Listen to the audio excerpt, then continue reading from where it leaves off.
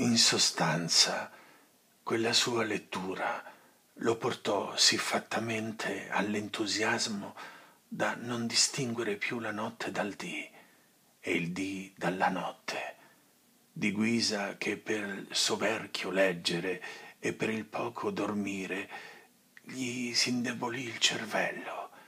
e addio buon giudizio. Altro non presentavasi alla sua immaginazione che incantamenti, contese, battaglie, disfide, ferite,